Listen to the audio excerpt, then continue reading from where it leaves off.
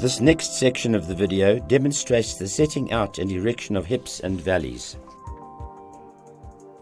It is practical to set up the hip section of a roof before erecting the other trusses. The roof being erected in the workshop is L-shaped on plan. We must therefore start by placing in position the girder labelled TG4 on the drawing, as this girder will support the hip on the main roof. Girder TG4 is shown as a two-ply truss on the design drawing. The first procedure then is to fix together the two TG4 trusses to form one complete girder truss. The fixing details for connecting these girders together is shown on page 11 of the Volume 2 Handbook. It is being demonstrated in detail on our video because of the critical importance of correct assembly. The two TG trusses are placed one on top of the other to fit precisely together and these are nailed together using 100mm wire nails. The nails are driven into the top and bottom chords along the length of the trusses at 150 centers in a horizontal line. However, the nails are fixed in a chevron pattern. The rule of thumb gauge used on site for measuring the distance between nails on the angle is by stretching the thumb and little finger from one nail to the position of the next. This method results in a fairly accurate horizontal line for 150mm centers of the nails. The nails are fixed into the center line of the webs at 300mm centers. Once all nails are applied, the trusses are flipped over and extending sharp ends are clinched. 12mm holes are now drilled adjacent to every joint and the two trusses are bolted together using 12mm bolts and nuts and 40 by 40 by 4 mm thick square washers. This complete TG4 unit is now ready for erection. Where the girders are large spans, it is often easier to connect together the multiple ply trusses after hoisting in position. The layout drawing shows the position of the TG4 across the opening forming the L shape. We locate this position accurately by reading the two given dimensions from the end wall of the L on the plan. These read 759 and 760, which will be correct measurements for the TG4 girder from the inside face of the wall. Reference to hangers and cleats to be used in the following demonstration can be found on pages 13 and 14 of Volume 2 Handbook. Our demonstrator on the video has chosen to fit all the necessary fixing brackets for the main hip trusses onto the TG4 girder before erecting the TG4. He has established these correct positions from the truss spacing shown on the layout drawing of the girder and trusses to be supported on TG4. These are carefully measured and marked and the specified supporting brackets are fixed into position as required. The demonstrator chooses to fix the 90 degree brackets by gauging the thickness of the torsion strap to set the bracket about 1.5 millimeters below the bottom chord level. If nail holes of the hangers are located directly over a nail plate, the holes are punched into the nail plate using a wire nail to allow the clout nails to freely penetrate the timber.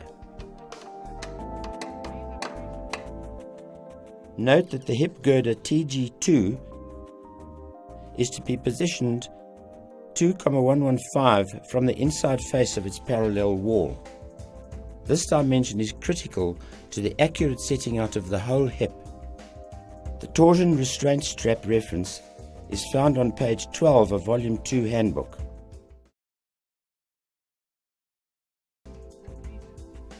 The girders and jack trusses are now trimmed to the correct bottom chord lengths.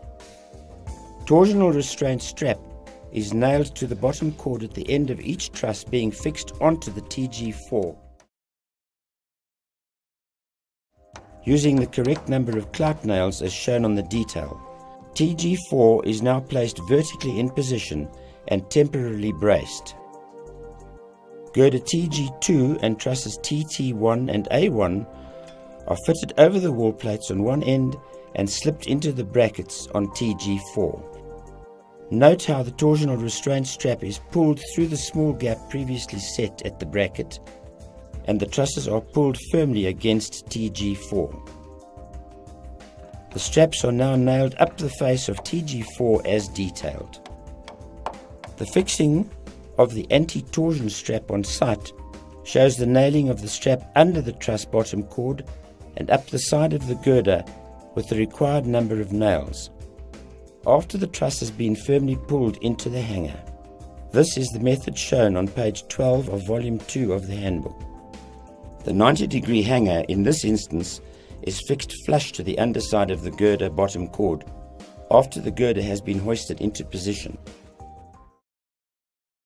Girder TG2, truss TT1 and the first truss A1 are now plumbed and temporarily braced. We now have the basic formation for the hip structure on one end of the building.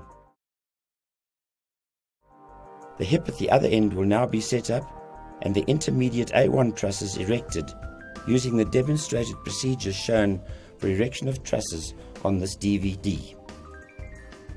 We now demonstrate the erection of the hip.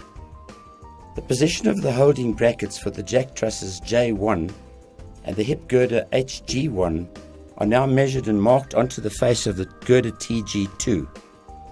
The dimension for positioning are stated on the roof layout drawing.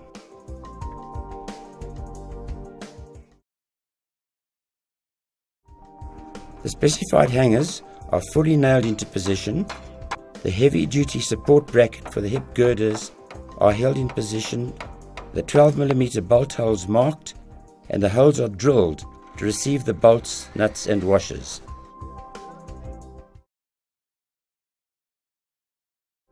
A tip worth noting the J1 truss, which is supported on the heavy duty bracket, is chamfered vertically to allow for the thickness of the weld down the vertical corner of the bracket.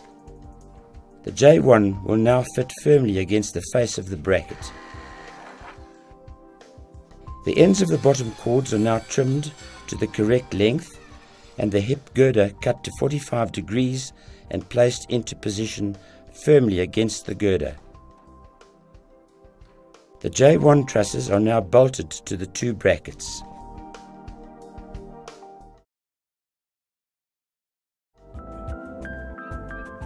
The extended rafters of the jacks are cut to length at the angle of the roof pitched to fit accurately against the apex of the first A1 truss and nailed through the top chord of A1 into the end grain of the rafters to hold them in position.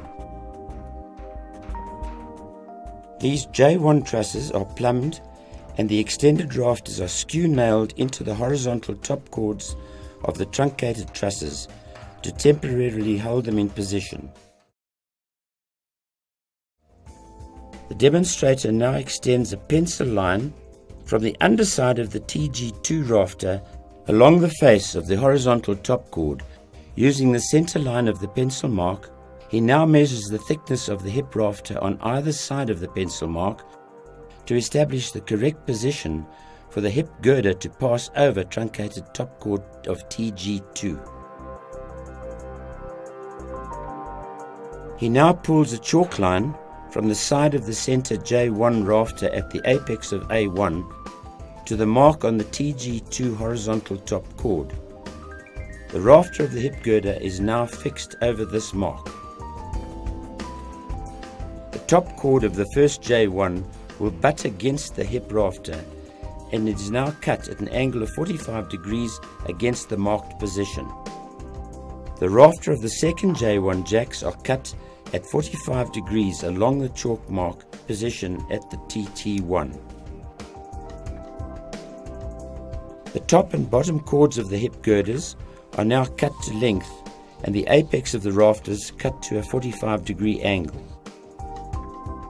The extensions of the bottom chords are cut from the center line at 45 degrees on either side to fit snugly against the bracket on one face and the first J1 on the other.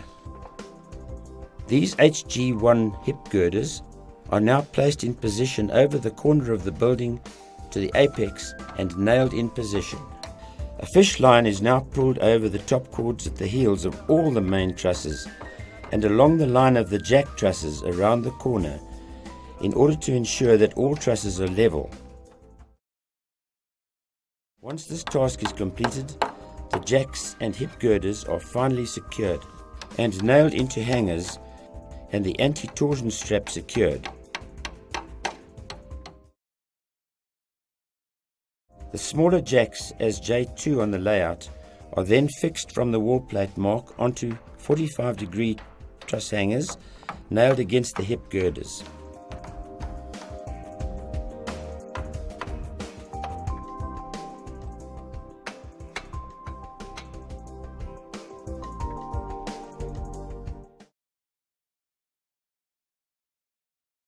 The rafters of all trusses passing over the horizontal top chords of TG2 and TT1 are now securely fastened on the horizontal top chords using a hurricane clip or pre-punched strap connection as shown on the detail on page 21 of the Volume 2 Handbook.